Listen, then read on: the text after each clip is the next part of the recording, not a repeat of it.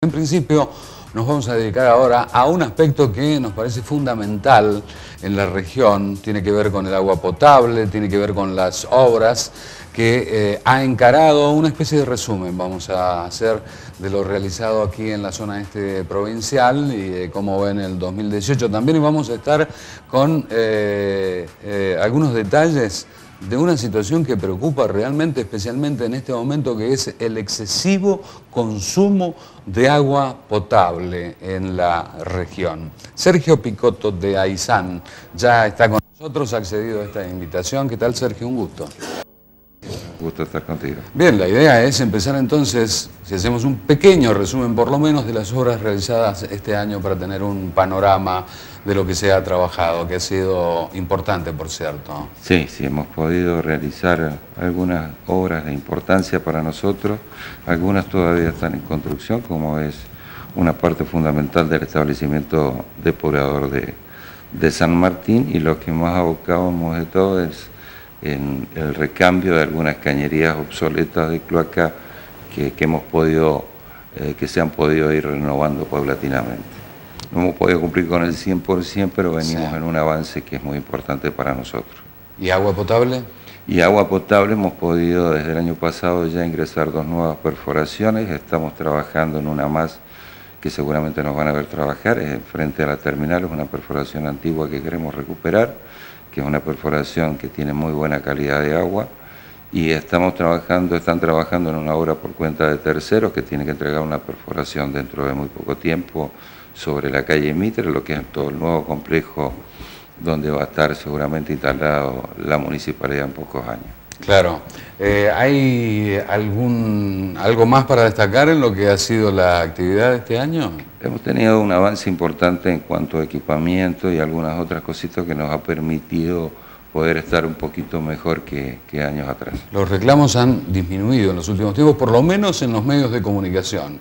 Al, al, canal llegaba hace un tiempo una cantidad importante de inconvenientes con pérdida de agua y ahora eh, se ha reducido esa cantidad de denuncias.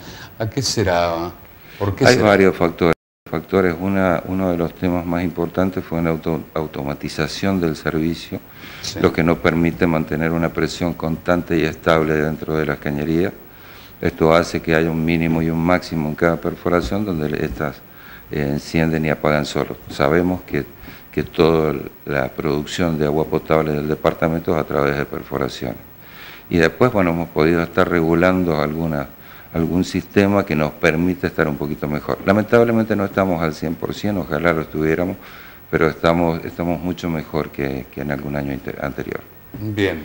Algunas de las perspectivas, las perspectivas que hay para el 2018, algunas obras de consideración. Hay obras importantes que, que, que están planteadas, que para hacer una mejora fundamental en cuanto es la parte no tan solo de cloacas, sino la de agua.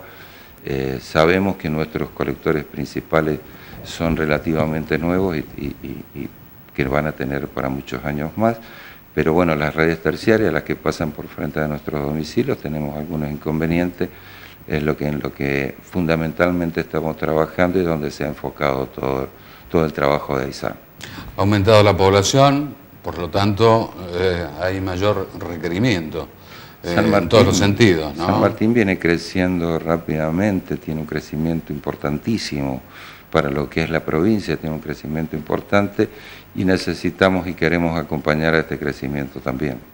Hay un aspecto que mencionaba al comienzo, tiene que ver con el consumo eh, excesivo indudablemente de agua potable que se está estableciendo, ha aparecido una cantidad muy importante de piletas, construcción de piletas. Eh, bueno, se sigue en algunos aspectos con malas costumbres, malos usos por parte de la población o parte de la población, reitero, eh, de lo que es el agua potable para riego, para lavado de autos. Eh, ¿De qué manera se podría encarar esta situación? ¿Cómo lo ven ustedes? Démosle un poco de tiempo a este aspecto porque realmente es eh, esencial cuidar este líquido tan fundamental en una zona de desierto como estamos y que es indispensable bueno, tener responsabilidad sobre él. Lo importante de esto es saber que llevamos casi nueve años de una crisis hídrica importante para, para lo que es la provincia, donde no tenemos eh, la precipitación de nieve en la cordillera y eso afecta directamente a los acuíferos que traen agua a, nuestro, a nuestro departamento y esto hace que cada vez el agua sea más escasa. Tenemos que ir mucho más abajo a buscar agua eh, donde antes se buscaba los 200 metros, hoy se está buscando en los 350 metros. Además está en malas condiciones en cuanto a contaminación, ¿no? Por lo menos el primer acuífero. Todos los primeros acuíferos lamentablemente están totalmente contaminados. El segundo también se indica que Prácticamente, un gran porcentaje que tiene en, en un pero muy alto porcentaje que están prácticamente contaminados. Es decir, que nosotros hoy estamos tratando de buscar nuevas eh, napas y esto es a partir de los 350 metros. Claro.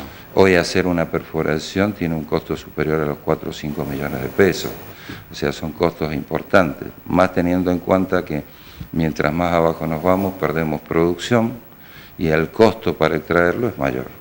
Claro. Ahora, eh, ¿cómo, qué, se va a hacer en esta temporada especialmente?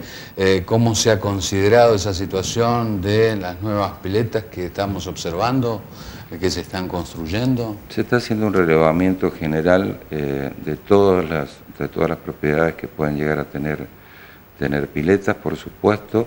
Se están colocando en algunos lugares medidores, hay que empezar a medir el agua y lo importante es que hay gente en la calle que está haciendo algunas multas, esto la, población tiene que saberlo, que el, horario permitido es de 22 a, 8 de la mañana, únicamente jardines. Todo lo que sea verde se puede regar, el resto nada.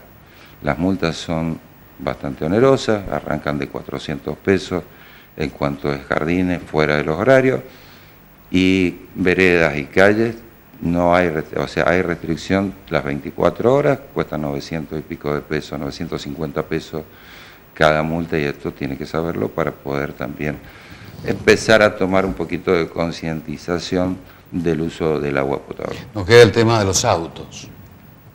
Y son eh, ¿Hay horario o eh, no se pueden no lavar autos con no se puede lavar con la manguera generando la salida de agua de la manguera. Pueden hacerlo a través de algún balde, eh, con una limpieza restringida. Claro. Pero no mangueras, no hidrolavadoras, nada que, que, influya en consumo de agua importante. Bueno, eh, ¿harán alguna campaña, supongo? No sé si tienen información sobre saliendo, lo que ya está saliendo algún tipo de campañas que yo personalmente voy a traerles para, para que ustedes también puedan llegar a, a eh, yo no sé en cuánto está en este momento el consumo, pero es importante, aquí en la zona este está medido, eh, o en el departamento de San Martín, ¿cuánto consume aproximadamente? Si sacamos lo que es San Martín, únicamente San Martín y Palmira, que es un servicio totalmente asociado, y una parte de lo que es la colonia, tenemos que pensar que en, que en horarios y días picos eh, se producen más de 2 millones y medio de litros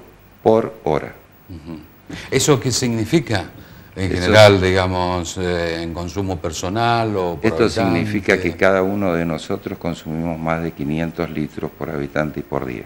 Eso es muchísimo. Es muchísimo. La Organización Mundial de la Salud admite un máximo de 250 litros por persona.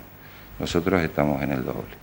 Lo que ocurre es que, bueno, todo tiene que ver con las condiciones, los lugares, las características del clima, Hago referencia a este, a este cálculo que realiza la Organización Mundial de la Salud. ¿no? Por supuesto. Será un promedio que, bueno, a veces tiene que ver o no con las características nuestras. Son valores iniciados para el uso, para el consumo individual de cada uno, lo que es aseo, lo que es bebida y todo lo demás.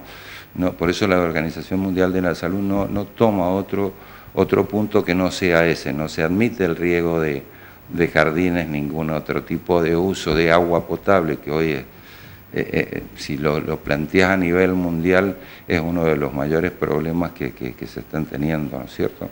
Eh, pero la, Organización Mundial dice consumo eh, por persona en lo que es aseo, bebida y todo lo demás, ¿no es cierto? Cuando hablamos aquí de contaminación, un hecho que permanentemente planteamos, especialmente para la dirigencia política en general, eh, mencionamos que es un problema no solamente para la producción, que lo va a tener, que lo tiene en el momento y que seguramente será uno de los, de los inconvenientes más importantes para el futuro. Hay un problema esencial y fundamental más importante que ese, que es el consumo humano. Sí, sí, sí. Que a veces lo dejamos como secundario. Lo estamos dejando de lado. nosotros somos conscientes, vivimos en un desierto. Nosotros hicimos de Mendoza eh, algo que, Mendoza no lo es. Y, fíjate que nosotros por ahí, o por lo menos particularmente, eh, no me molesta que, tengas que regar un jardín y lo podés hacer en 10, 15 minutos, lo mantenés verde, bonito, como todos nosotros queremos tenerlo. La diferencia es cuando tirás una manguera en un jardín y esa manguera está horas y horas y horas y termina humedeciendo la pared al vecino o termina dentro de la sequía porque nos fuimos a comer, porque nos fuimos a ver la televisión o porque nos fuimos a hacer otra cosa. Digo, un consumo que sea medido, un, consumo que sea racional, en donde podamos tener nuestras cosas bien hechas, bien bonitas como queremos todo, pero sin, sin tirar algo que el, el, vecino que está a 10 o a 20 cuadras no lo tiene.